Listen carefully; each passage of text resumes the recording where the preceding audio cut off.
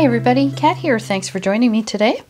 Today on some cotton paper, I'm going to be doing some nice loose florals and some people uh, in the in the uh, art groups that I join, um, they often talk about how they just they find doing loose. They always want to learn how to do loose, um, and so I thought that I would do just a quick floral and show you how you can use the full range of your brush.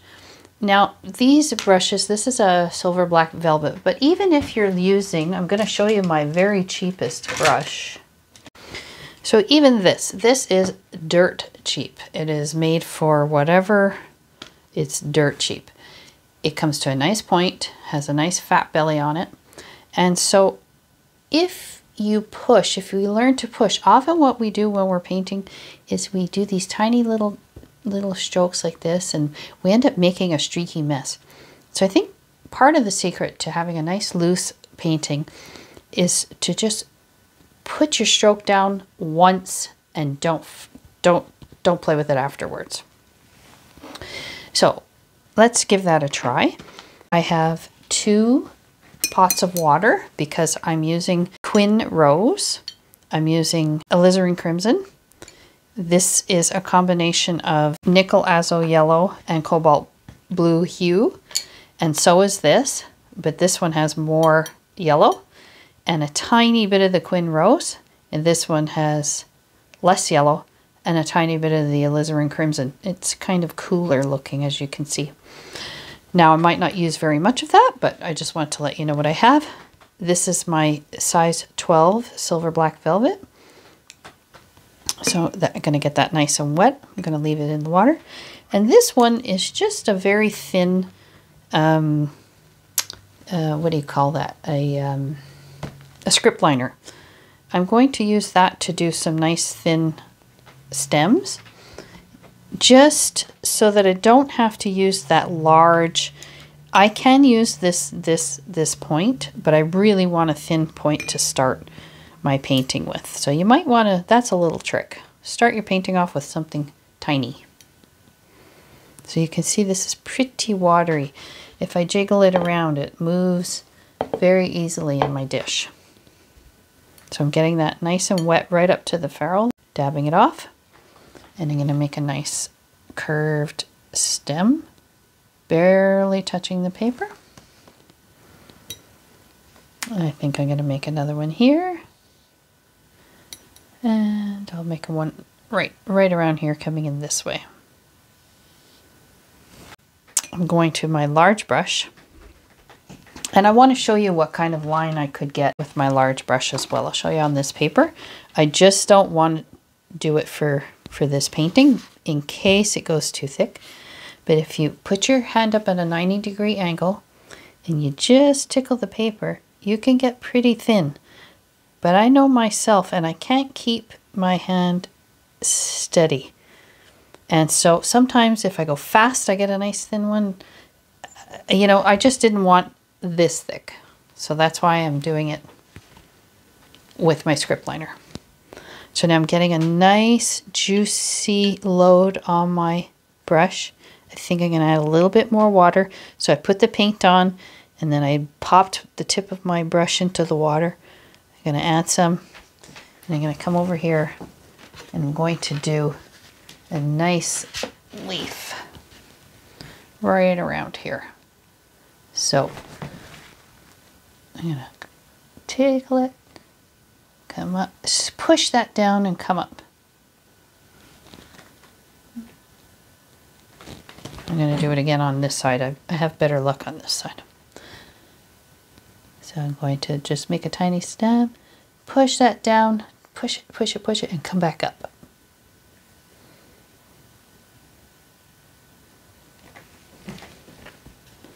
I'm going to come over here.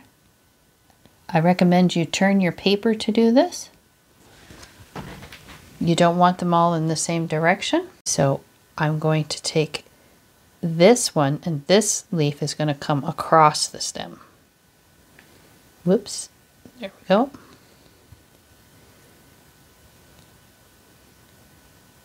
I'm going to put one here.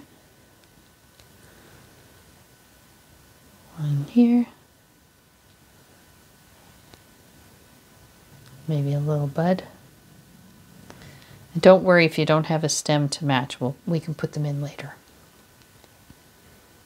I need a bit more paint. I didn't mix enough. Try to mix enough because it's hard to get the exact, exact shade you had before. A tiny bit of this. And that will have to do. And this one, I'll put the petal here. Whoops.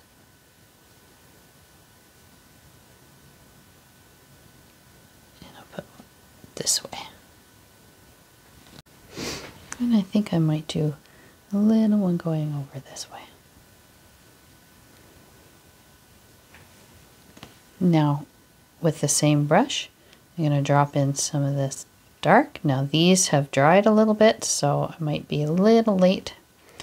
I'm putting it at the base where the stem would be.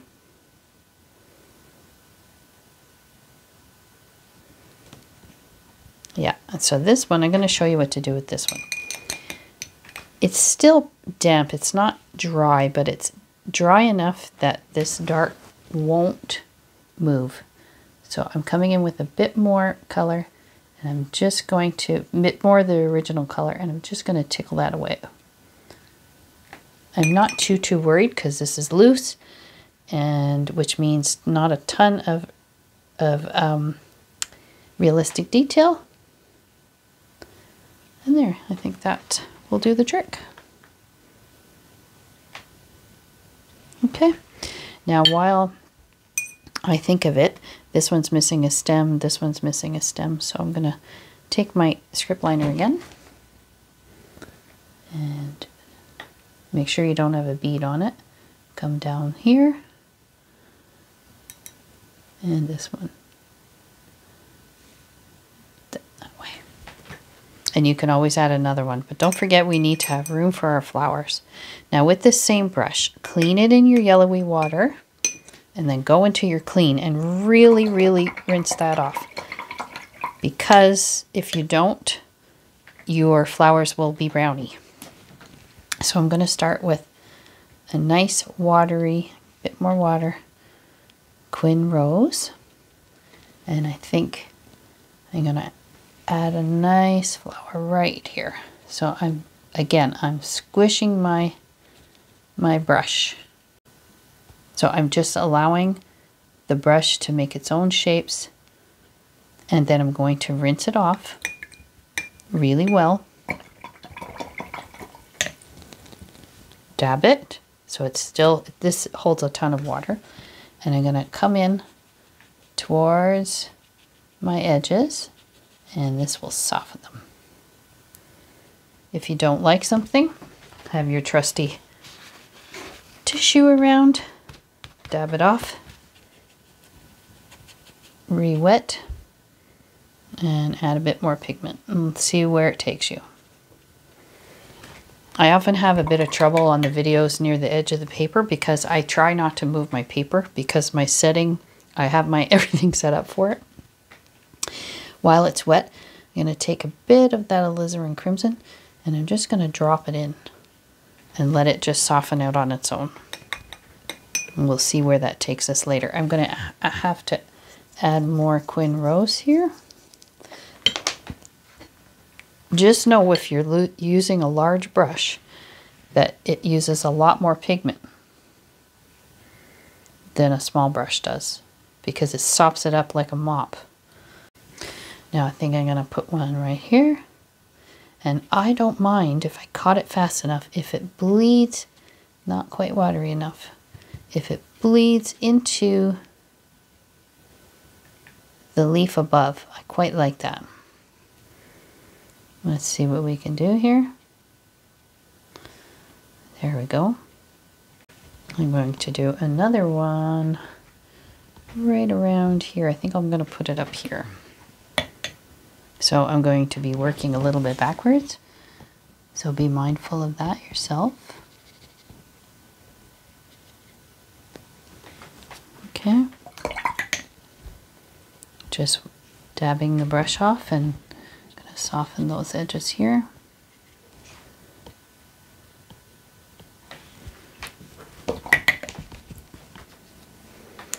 So this will soften out and if it doesn't, don't worry because once it's dry, we're going to go in and make a few changes and add a few details, just a few though. And right here, I think this is going to be a little nice little house for a, a tiny little flower. I remind myself to use the belly to release and the tip to distribute. And maybe I'll put a bud here. So just like that. I'm going to go in with this tiny little brush this time to put in a bit of, of the alizarin crimson. This is just to, to vary the, the colors that you see. It's always a little bit more interesting when you have some colors that you weren't expecting. You can even add it into your leaves here. See what happens. I just chose this out over this because it's a bit more watery.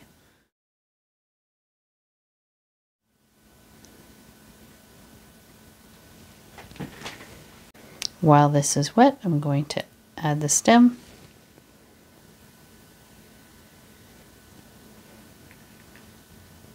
This one too.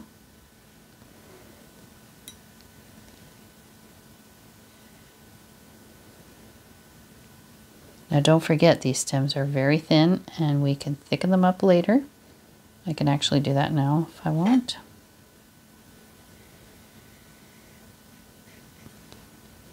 While we're waiting for the rest to dry.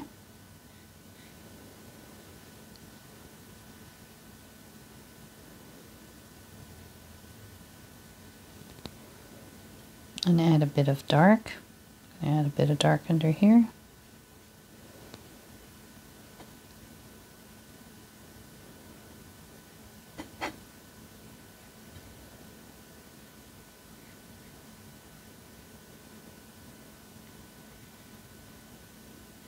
So I find often when we're using large brushes, we don't push down. So what we do,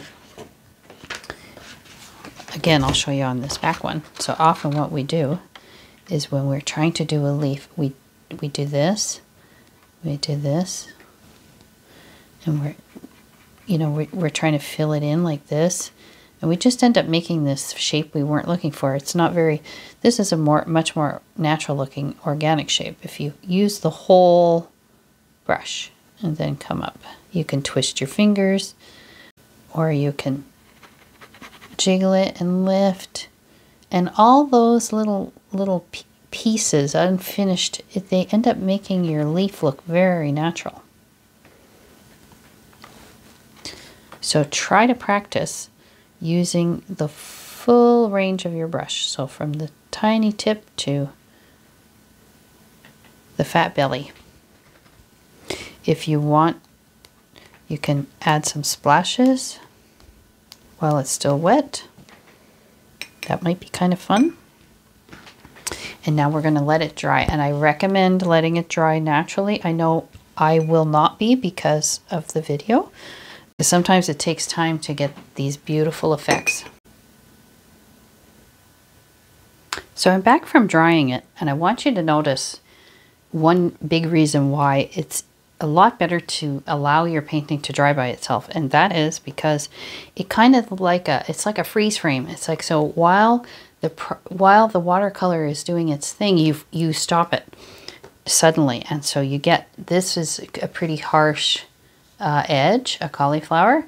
And I noticed that these ones are a little bit harsh but that's okay because I like it. And if you don't like it I'm going to show you how to fix it uh, that's one thing I really like to do on my channel is I know how polished some of these videos are. I know firsthand that um, people paint over and over and over again and it's wonderful. They produce beautiful things.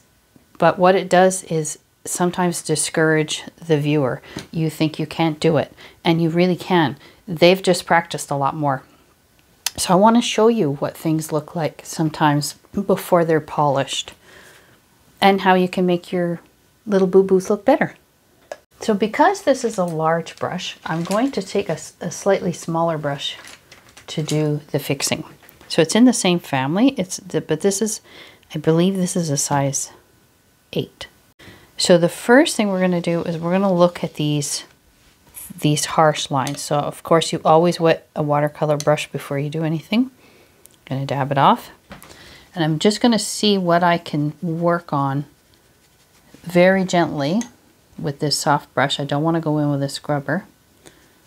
I just want to see what I can do with it before adding or any more paint. So all I did was play around with the edges and it's gone. It looks pretty good. This one, it's not a hard, it's not a hard uh, cauliflower line, but I'm not fond of what happened to it. So again, I'm wetting my brush and I'm dampening it off. So you can see on my hand, it's still wet. And I'm just going to wet that whole area. And I'm going to try to coax those colors to come forward up into the rest of the leaf. Because I, I still want those colors there. So I don't really want to remove anything. I just want them to blend out a bit. So we'll let that dry and see how that works. That looks a lot better to me. The only other thing that I see is, now I've lost it. This is a little bit, hmm, I, I think I'm gonna, I'm gonna play with that one. So I'm just gonna put some, a little bit of water, wet, dry, I'm just to wet it a little bit. I'm to see if I can coax that edge to be a little bit less har harsh.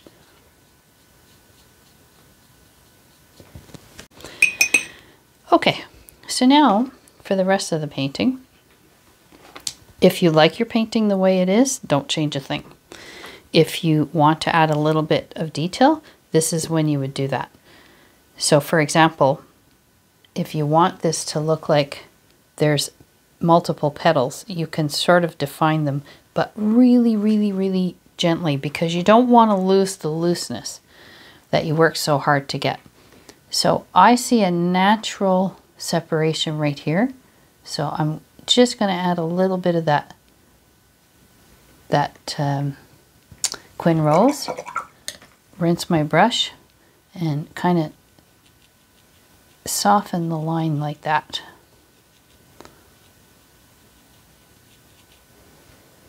So there's just a slight, a slight delineation here.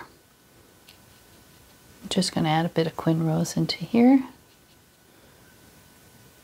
Just a little bit there.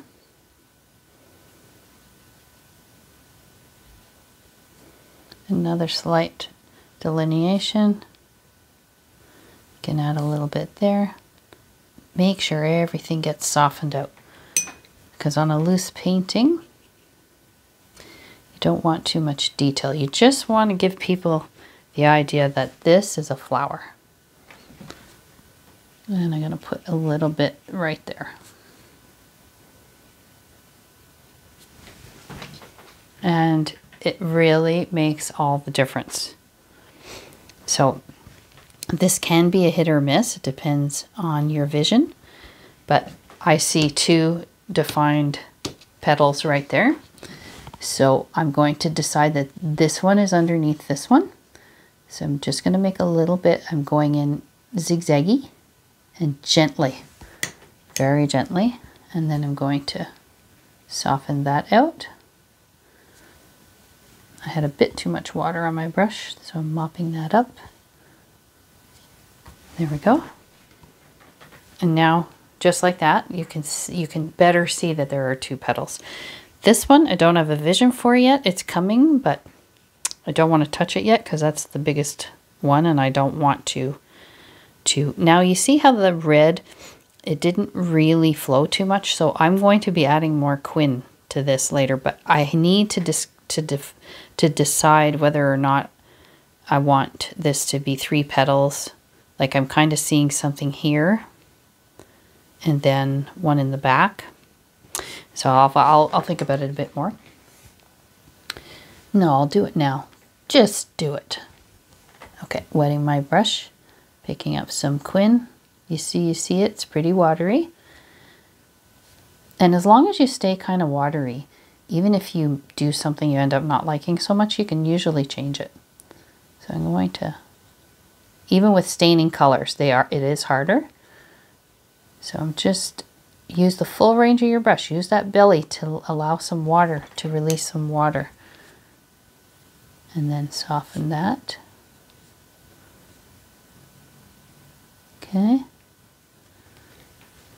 There's one there. And, oh, I wish I could talk to you in person. Somebody could tell me if they see something. Soften that a bit more. So I kind of see something here. So before I decide though, I'm going to come down here and uh, add a bit of Quin Rose there. Make sure it's nice and watery to start. I'll add some down here.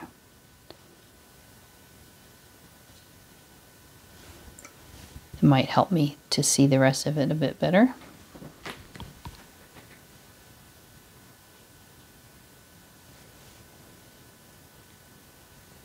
Mm-hmm. Yeah, I think I'll do that right there.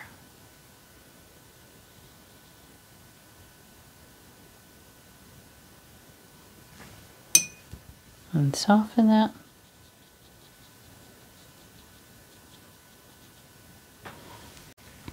This one, I'm going to use the red mixed in with it because it's a little bit dark. And um, I'm trying not to duplicate too much. I'm trying to watch what I'm doing so that nothing ends up the same. But some of these shapes sort of tell you where to put put the um, the shadow, well, the shadows, the definition lines, the defining lines. So there we go. This one, I'll just add a bit of Quin. I find it a little bit, um, I don't know what. Looks like a bit of a blob, but that's okay. I'll scrub at the edge and soften it out a little bit. It's hard to scrub uh, reds. Most reds are, are staining. This here, I want it to look like a bud. So I want a bit of green here. So I'm using the tip of the brush to do that and a bit of this. That's not the same green I used in the painting. That's the, the green I used to show you something. so it's a little bit off, but that's okay. So it will kind of naturally bleed up into this petal. And you can do the same thing with your leaves if you like. If you find, I'm going to add a bit of red, whoops, a bit too much. So you can also add a little bit of movement to your to your leaves like that. You can add the darks at the bottom. You can add them, you can put one here, you know, at a curl. It doesn't matter. You, you, you can put them wherever you like. Drop it in and with another damp brush, soften them out.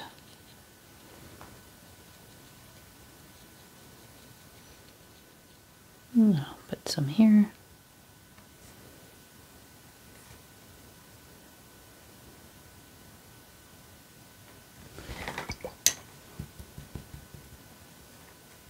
Soften, soften.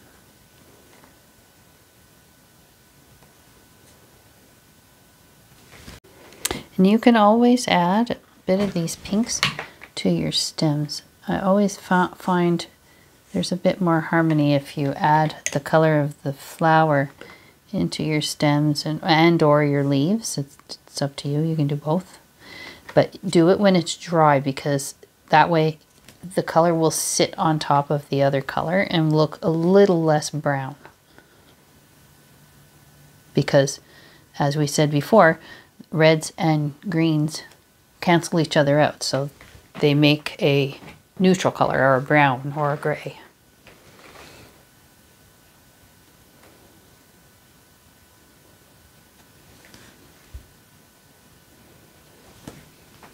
I think I'm going to call that done. I have some splashes here, so maybe I will add some splash to it because I did that by accident. I had a, I had some dirty water I splashed on, and I also had a dirty thumb, so I made a bit of a bit of a mess. But that is the nice loose watercolor flower that is so simple. You can you can do this. So be patient, be kind to yourself, And happy watercoloring, everybody. Bye bye.